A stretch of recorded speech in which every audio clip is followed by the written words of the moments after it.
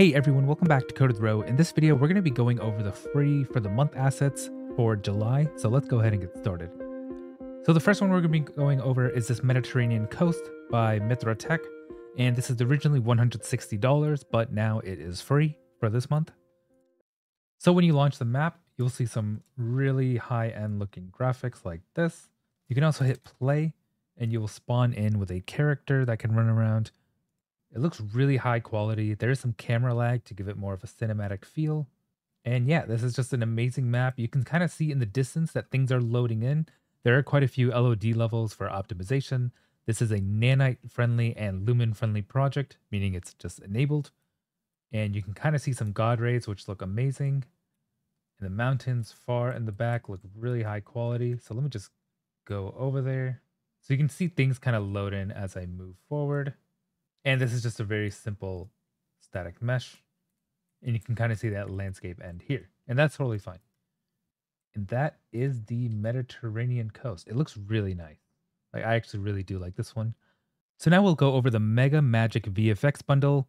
Um, there can never be any, there can never be too many VFX, and I actually really, really like this one. I'm looking forward to how these look. They actually look really sick to me. So let's go ahead and check that out. So sorry if you have seizure warning, but this is the explosions map, which has a ton of different types of explosions. They look like fireworks, fire rain, um, just a ton of really cool effects.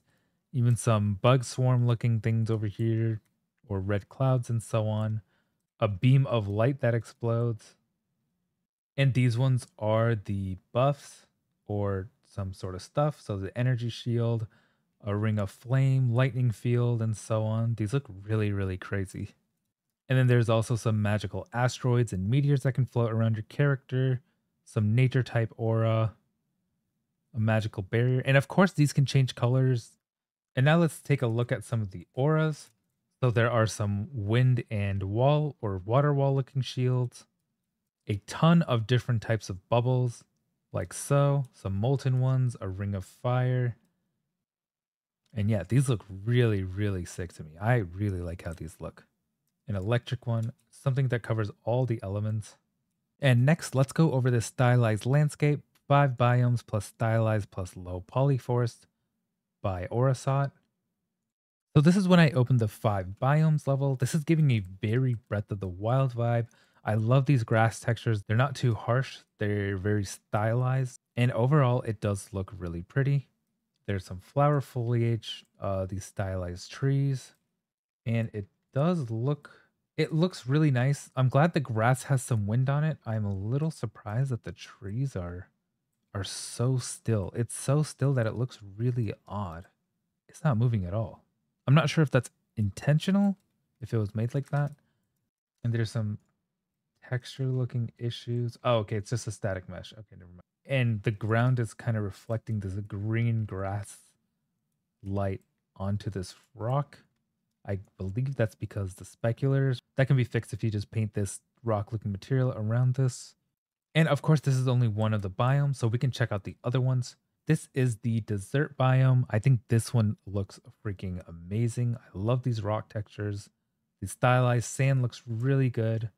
There's some mist going on here or some sort of reflection in here. It kind of just looks like the temperature from the heat is giving it that gassy look. I'm not sure if that was the intentions, but it does look really nice.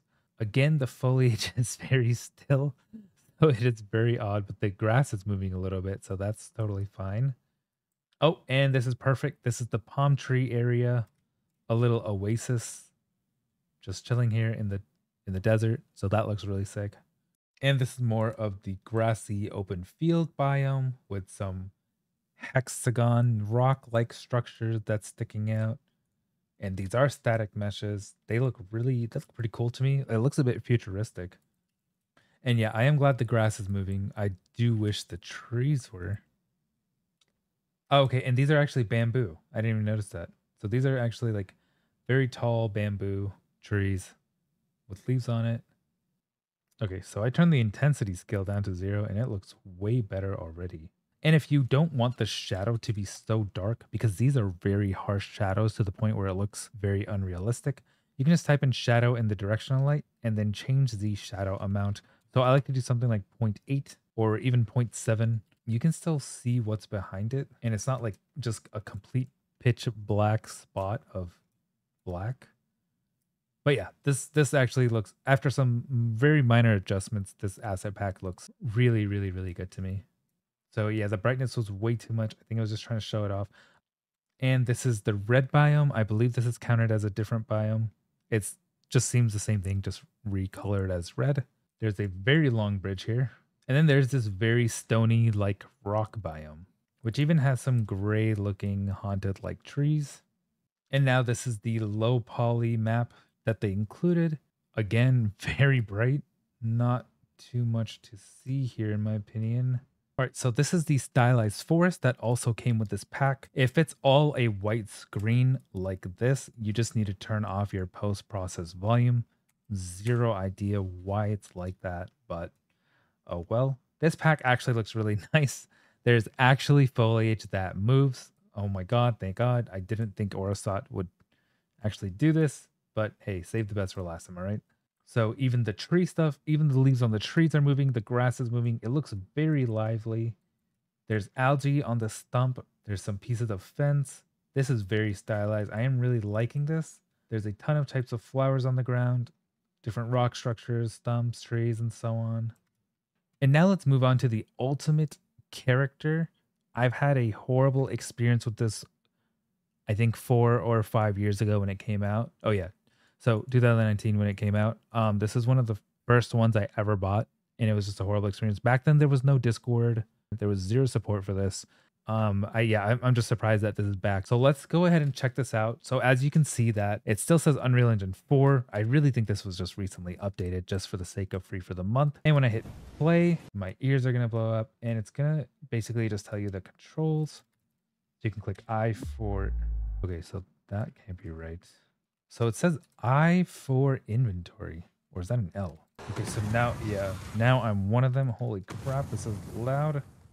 And overall, um, this one needs a lot of work. I, I don't think this is actually updated for Unreal Engine 5. My controls are just not working properly. So after looking into this for quite a bit, um, in all good consciousness, I can't really recommend this asset. There isn't really anything special here. It's just an end blueprint and a character that's already provided by Unreal Engine with some attack animations and a couple of UI upgrades and an example AI. Um, yeah, it comes with a very basic AI character with some blueprints in it.